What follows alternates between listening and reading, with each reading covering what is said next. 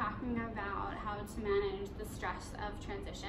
And so I think every veteran that I have ever spoken to has told me that transitioning was much more difficult than they had anticipated, or it was difficult in ways that they had not uh, forecasted. So I'm going to talk to you and explain a little bit of the why, and then I'll mention some of the veteran resources that are available to help you um, deal with the stress. So Someone explained this to me. I don't remember who, so if it was you, please feel credit.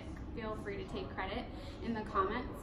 But the idea is is that the average person has 25 to 30 major milestones in their life. So if you think about age 18 to age 64, um, and we start to plot them out, what you'll see is something like this. You know, maybe someone graduates from college, maybe they um, get car accident, maybe they get a pet, um, maybe they move to a new city to accept a job, a different job, maybe they um, have a loss of a family member. And what you're seeing, hopefully, is somewhat of a balanced S curve.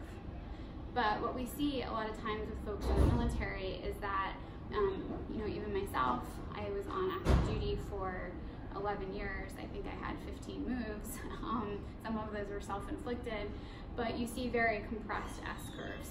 And what's important is the space between those S curves is when your mind and your body and your overall adjustment happens to process, right? Um, the experiences that you've had. And so when you leave the military, we can already anticipate that you're going to have quite a few S curves that are very compressed. So more than likely you're going to move, you're going to change industries, you're going to change jobs. If you have a family, this is going to cause change on your family that might mirror back to you. So some of the things that you can do, obviously, um, you know, you train like you fight. You can prepare early, do all the resume review, the networking as soon as possible um, in your military career, so that you do have those building blocks and you're not rushing um, on top of moving and changing jobs, and doing a lot of the foundational skills.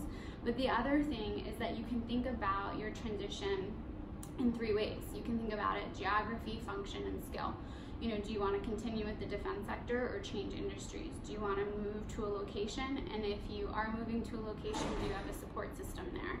Um, it could be someplace you've already been stationed, someplace that maybe your spouse has an affinity towards, or maybe someplace that you yourself lived in prior to the military, etc. And then do you have the skills for this job? Is this a continuation of something that you did in the military that you already have familiarity? Because if you're changing your geography, your location, your skill, what you're doing is you're adding to the S curve. So to think of your transition in that way.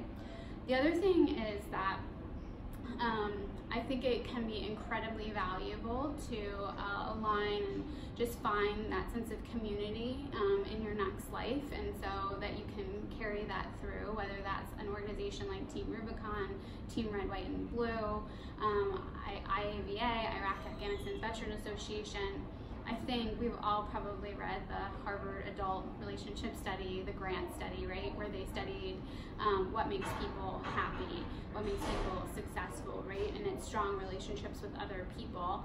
And um, you can kind of foster, maybe artificially, that sense of community that you had in the military through some of those organizations that I mentioned, and they can help you acclimate a little bit better.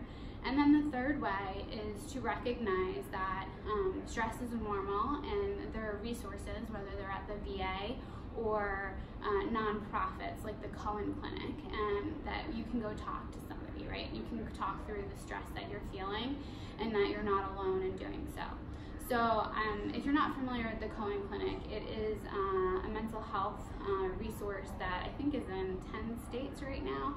And they also offer access to um, mental health through video chat um, and they're growing and it can be free or very low cost to military members. They're aligned with major universities like NYU, UPenn.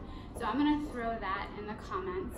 Um, and again, if this doesn't apply to you, more than likely you will meet a veteran who is having maybe a more difficult time than you are, and it's just good to know about the resources. So thanks for listening.